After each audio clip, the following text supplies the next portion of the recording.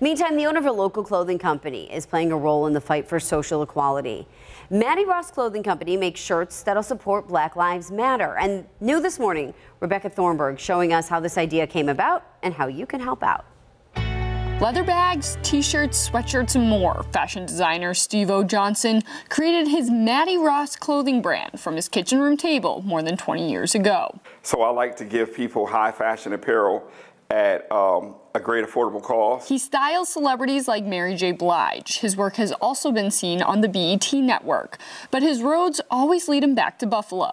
Thought of a name for the clothing line. We wanted something that symbolizes simple, clean, and classy. After being very involved in the recent Black Lives Matter protests in the Queen City, he created these t-shirts. We Pump 716 is basically for us, by us. It's giving back to the community. At $28 each, Johnson says the proceeds from the sales and the GoFundMe he set up will be put towards community initiatives and go into an account to buy food and water for protesters. We all can do better. I think it starts with us, each individualized person we, can, we all can do better.